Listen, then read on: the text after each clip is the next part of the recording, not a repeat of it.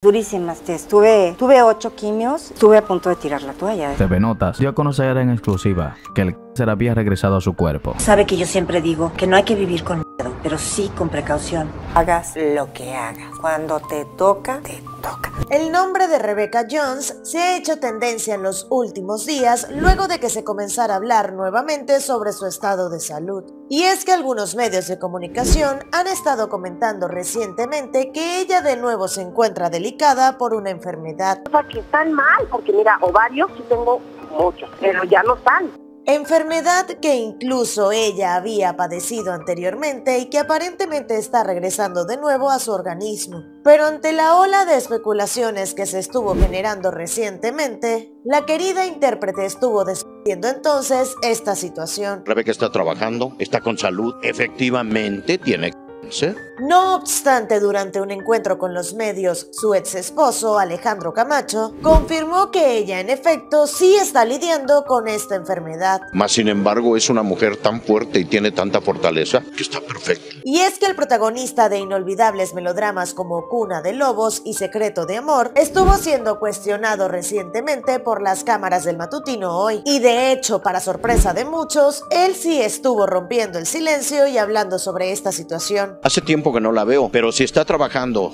y tiene salud. Sin embargo, Alejandro Camacho no estuvo ahondando mucho más en esta información, pues de hecho desconoce cómo es el origen de esta enfermedad.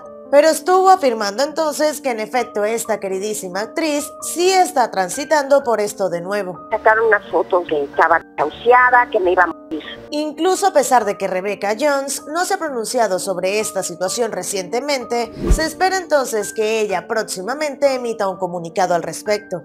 Pues justamente a finales del pasado mes de julio, ella estuvo negando contundentemente que estuviese atravesando por esta enfermedad. Ellos se la han pasado a solamente porque no les quiero hablar. Recordemos entonces que fue en el mes de julio cuando ella estuvo negando que padeciera nuevamente esta enfermedad. Enfermedad que además ella estuvo superando en el año 2018 y justamente estuvo atravesando una intervención quirúrgica que garantiza entonces que ella no pueda tener dicha enfermedad porque ya no posee sus ovarios. Porque no me gusta hablar con esta revista, porque no creo en esta revista. Sin embargo, su ex esposo, a pesar de haber mostrado esta admiración por ella, estuvo resaltando entonces que no quería ahondar en esta información sobre su enfermedad. Pero esperemos que en los próximos días sea la propia Rebeca la que aclare este panorama, pues obviamente todos sus seguidores se encuentran notablemente preocupados por el simple hecho de saber de que ella nuevamente pueda estar atravesando por esta delicada enfermedad